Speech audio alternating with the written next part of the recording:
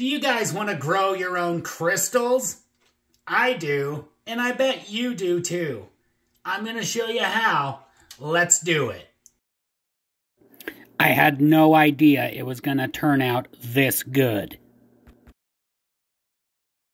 You can grow your own crystals using borax.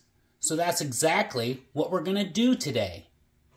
The first thing you want to do is get your water in your pot.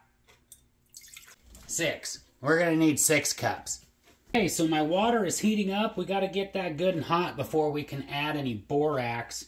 But I wanted to show you how I fashioned this piece of wire to just reach down in there, right in the brain cavity. It's for science. And then I can pick that thing up out of the water. So that's what we're to do. But we got to get all that uh, borax dissolved in there first. So, the general rule for the amount of borax to water is about four tablespoons for every cup of water. Now I've got six cups of water, so that's 24 tablespoons of borax. We're heating up pretty good. I think we can go ahead and add our first tablespoon.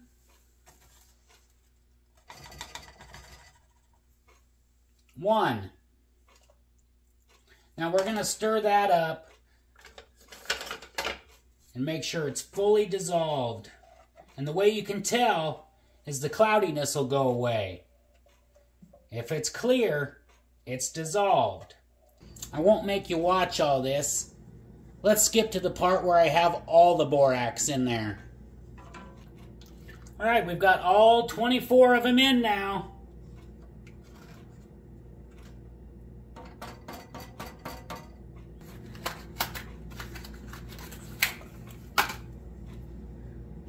You can use any kind of food coloring or dye that you like. If you don't have any of that, you can use foliage. You can use a can of beets. Anything. Let's do it. It's not open. Just give her a little squirt. We don't count drops around here.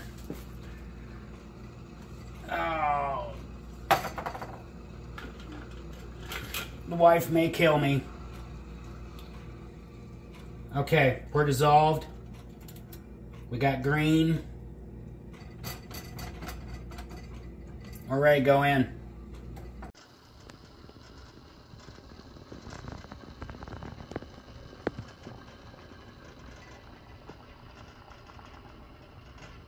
My eyes are fogging over. We're good and dissolved. The food coloring's nice and green in that bone. Uh, the real magic, however, happens when it cools. The act of heating the water actually lets it take more borax than it would if it were cold. Kind of like when you add sugar to hot tea, it likes to dissolve right away, versus cold tea, where it sticks around a while. So we've got a bunch of borax in water, and as it cools, those crystals are going to want to go somewhere. And they're going to go on the object that you put down in there. I've seen people online do flowers and even rocks. Science is messy. And we're just going to wait about five hours, and as this cools, it's just going to grow crystals. So you can put it in an ice bath if you really want to force it fast. But I'm just going to let it go naturally and see what happens. It's about 10.30 now. So I'll see you at 3.30. So we're just past the three hour mark. And check it out. We've got some crystals growing on the top. And then when you take a light to it, you can see them growing along all the edges. You see the skull down in there? It's not smooth anymore. It's working.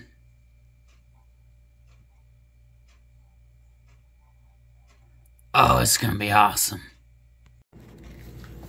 Okay, it's been five hours. Let's get it out of there. See what it looks like.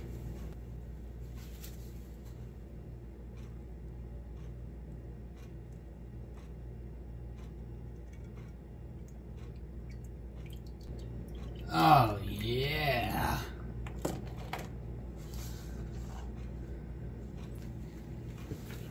Look at this thing. Holy crap, is that awesome. I had no idea it was going to work or be this easy.